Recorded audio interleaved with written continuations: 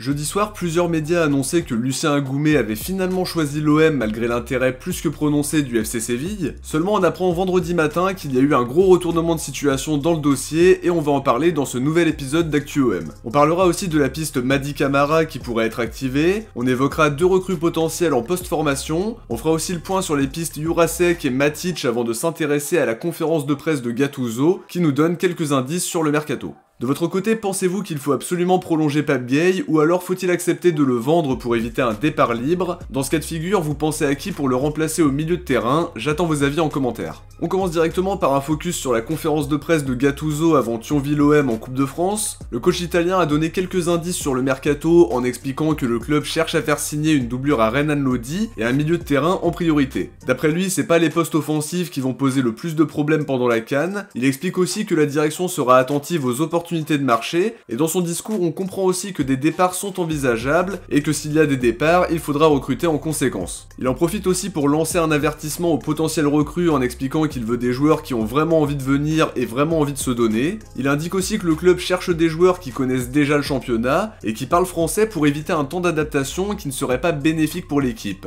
Il a aussi donné sa vision des choses concernant Luis Enrique en expliquant qu'il a aimé son mental et sa façon de jouer depuis son retour. Apparemment il s'est beaucoup donné à l'entraînement avec beaucoup d'humilité, mais il attend davantage dans les phases sans ballon, en considérant qu'il doit être moins paresseux. Il a aussi été questionné sur le système en expliquant que le mercato ne dépendait pas du système en question, qu'il avait lancé le 3-5-2 pour répondre à la blessure de Rongier, mais qu'un retour au 4-3-3 n'était pas impossible non plus. C'était aussi l'occasion de faire un petit point sur les blessés, d'après lui Correa pourrait revenir mi-janvier parce qu'il a repris la course, mais qu'il faudra encore quelques jours pour qu'il soit opérationnel. Concernant Rongier, il considère qu'il progresse bien mais qu'il faut respecter les délais pour éviter une rechute. D'après lui, on en saura plus sur la date de son retour à la fin du mois, mais les choses avancent dans le bon sens. Il a aussi pu revenir sur la polémique qui entoure Muguet et son choix de rester à Marseille. D'après lui, c'est uniquement un choix du joueur et il explique que le club l'a naturellement soutenu dans son choix après coup. Actuellement, il y a des discussions entre le Cameroun et l'OM pour évoquer la situation et régler le problème. La conséquence, c'est que Muguet n'est pas disponible pour le moment, mais ça pourrait changer dans les jours à venir selon les évolutions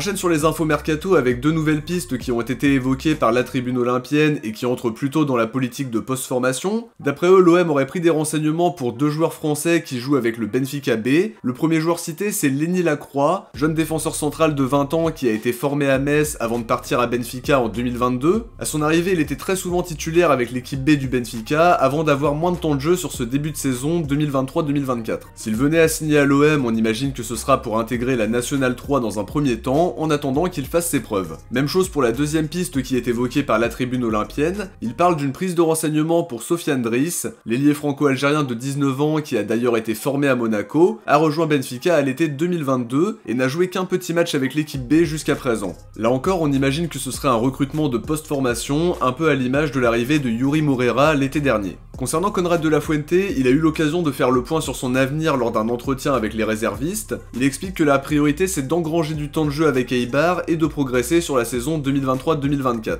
Il concède qu'il aimerait revenir à Marseille mais que ça dépendra uniquement de ses performances sous le maillot d'Eibar. À l'heure actuelle, son prêt n'est pas concluant, il a commencé la saison par une blessure qui l'a éloigné des terrains pendant plus de deux mois et depuis il a joué une dizaine de matchs sans être titulaire une seule fois en championnat. On suivra évidemment sa deuxième partie de saison dans Focus sur les prêtés en espérant qu'il réussisse à avoir de la continuité dans le temps de jeu et à montrer de bonnes choses avec Eibar. On va maintenant faire le point sur la prolongation de Pape Gay. La Provence explique que Mehdi Benassia travaille actuellement sur le dossier et qu'une deuxième offre aurait été formulée aux joueurs après la première qui a donc été refusée. Pour autant, la tribune olympienne nous dit que les négociations restent très compliquées entre la direction et l'entourage du joueur, puisqu'apparemment Pape Gay attend la fin de la canne pour prendre sa décision. Un choix compréhensible du point de vue de Pape Gay parce qu'il sera certainement convoité, mais ça nous arrange pas parce qu'il peut déjà discuter avec d'autres clubs, et l'objectif reste d'éviter un départ libre, quitte à le vendre dès cet hiver. Petit point sur Bilal Nadir avec RMC qui confirme la tendance des dernières semaines en expliquant qu'il devrait avoir beaucoup plus de temps de jeu pendant la canne par rapport aux différentes absences au milieu de terrain. Une information confirmée par Gattuso, même s'il précise que le club cherche un milieu de terrain, au moins pour l'aspect numérique. J'ajouterais quand même qu'il n'a toujours pas prolongé alors qu'il sera en fin de contrat au mois de juin. J'imagine que la direction veut pas trop l'exposer tant qu'il n'aura pas signé, et la volonté du club de signer Lucien Agoumet, même si ça ne se fera pas a priori, mais on va en reparler, ça m'a quand même conforté dans cette idée-là, dans le sens où on voulait faire signer un jeune joueur dans un secteur où on a déjà un jeune joueur qui ne demande qu'à jouer. À mon avis, Nadir aura du temps de jeu face à Thionville et ce sera l'occasion pour qu'il fasse ses preuves et qu'il gagne potentiellement plus de crédit dans l'esprit de Gattuso. Concernant la piste Jurasek dont on parlait dans le dernier épisode, Abola affirme que l'OM aurait formulé une offre de prêt à Benfica pour faire signer le latéral tchèque. Le club portugais veut absolument s'en séparer cet hiver et serait en train de s'activer pour lui trouver une porte de sortie. Il aurait d'ailleurs des intérêts en Espagne et en Italie, mais aussi un intérêt du RC Lens comme on le disait dans l'épisode précédent. Après, étant donné que Gattuso et sa direction veulent des joueurs qui connaissent bien le championnat et qui parlent français, ça jette des doutes sur cette piste puisqu'elle ne correspond pas vraiment au portrait robot dressé par le coach italien. Sur les rumeurs un peu plus chaudes, on va faire le point sur la piste qui mène à Nemanja Matic. A priori, elle serait tombée à l'eau d'après les différentes infos. RMC affirmait hier que la piste ne devrait pas aller plus loin. La direction marseillaise considère que c'est trop cher pour nos finances et la source précise que Matic n'est pas convaincu par l'aspect fiscal de l'opération. De leur côté, la Provence confirme que le salaire problème et que l'OM s'est par conséquent retiré du dossier. La piste la plus chaude jusqu'à présent concernait Lucien Agoumé, on en parlait avec attention dans le dernier épisode, et comme je le disais en intro, il y a un gros retournement de situation parce qu'hier soir, plusieurs sources affirmaient que le joueur avait choisi l'OM, que ce soit Fabrizio Romano ou Fabrice Hawkins qui sont très bien informés, le journaliste Luca Bendoni de son côté expliquait dans le même temps que le joueur allait signer à Séville qui avait déjà une longueur d'avance au moment où l'OM est entré dans la course. Un volte-face confirmé par RMC qui nous dit que la direction a mis fin à la piste à puisqu'ils n'ont pas senti une réelle envie du joueur de signer au club. Fabrizio Romano confirme l'info et explique que l'OM a décidé de se retirer alors que le dossier était quasiment bouclé ce jeudi soir. Le joueur est donc attendu à Séville comme c'était prévu initialement et l'OM va donc se diriger vers d'autres pistes.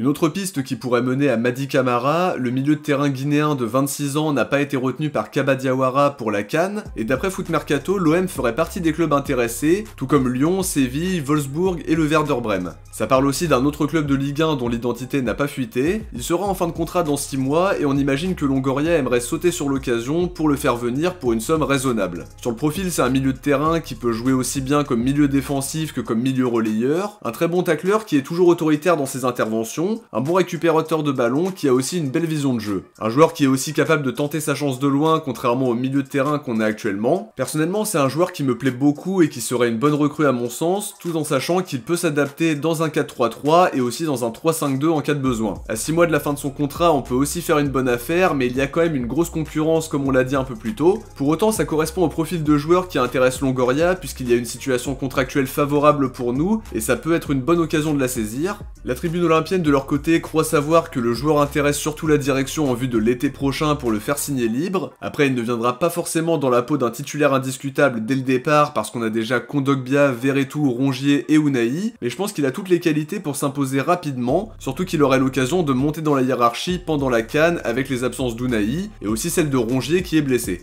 A voir si ça va se confirmer, mais c'est une piste qui me plaît beaucoup sur le papier, notamment pour ce qu'il a montré sous le maillot de l'Olympiakos. De notre côté, on arrive à la fin de cet épisode, j'espère que ça vous a plu. Si c'est le cas, comme d'habitude, n'oubliez pas de laisser un like pour soutenir la chaîne, un grand merci à tous ceux qui y pensent. Je vous invite aussi à vous abonner en activant la cloche pour ne rien louper de l'actualité de l'OM, surtout dans cette période de mercato où je vais être très actif. Si vous avez regardé la vidéo jusqu'au bout, écrivez Camara dans les commentaires. De mon côté, je vous dis à très vite pour une prochaine vidéo. Ciao, portez-vous bien et surtout allez l'OM.